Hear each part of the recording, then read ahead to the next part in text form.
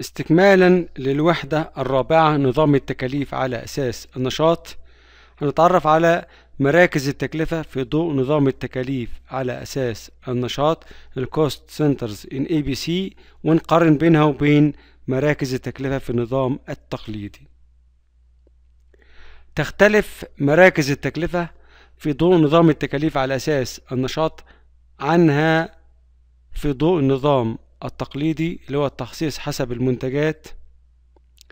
فمراكز التكلفة في النظام التقليدي تقسم إلى مراكز الإنتاج مراكز الخدمات الإنتاجية مراكز الخدمات التسويقية مراكز الخدمات الإدارية والتمويلية. مراكز العمليات الرأسمالية. أما في نظام بي سي نظام التكاليف على أساس النشاط تقسم إلى مراكز التشغيل مراكز الخدمات مراكز دعم الأنشطة التشغيلية مراكز دعم الأنشطة الإدارية. نظام التكاليف على أساس النشاط المزايا Activity Based Costing Advantages. لنظام التكاليف على أساس النشاط مزايا عديدة منها. رقم واحد إن نظام التكاليف على أساس النشاط بيقوم بتحديد مسبب تكلفة مستقل لكل نشاط وبالتالي لكل مركز تكلفة. الأمر الذي يكسب عملية التخصيص الكثير من الموضوعية. ويعمل على تأصيل علاقة السببية في عملية التخصيص. ده أول ميزة.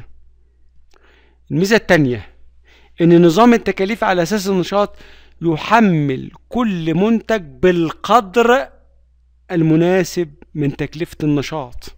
الميزة الثالثة استخدام مجموعة من أسس التحميل التي لا ترتبط أو تتأثر بالتغير في حجم الإنتاج وإنما تعبر عن درجة استهلاك النشاط للموارد المتاحة.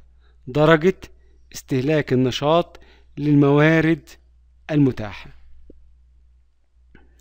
الميزة الرابعة إن نظام التكاليف على أساس النشاط يعتبر نموذجا لقياس الطلب على استخدام الموارد وليس نموذج لقياس الإنفاق حيث أن هذا النظام يحاول قياس مقدار ما استخدم من موارد على مستوى المنشاه ككل وتجزئة ذلك على مستوى كل نشاط فرعي ورئيسي داخل المنشأة.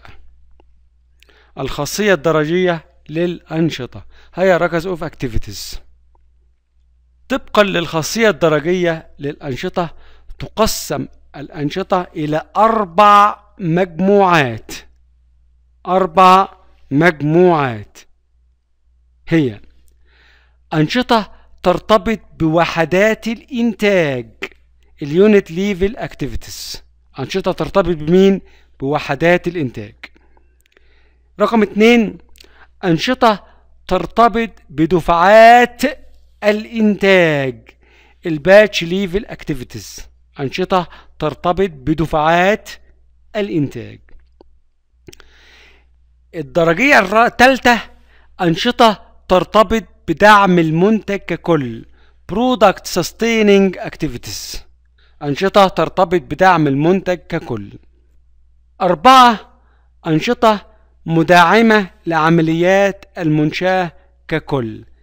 Facility Sustaining Activities أنشطة مداعمة لعمليات المنشاة ككل.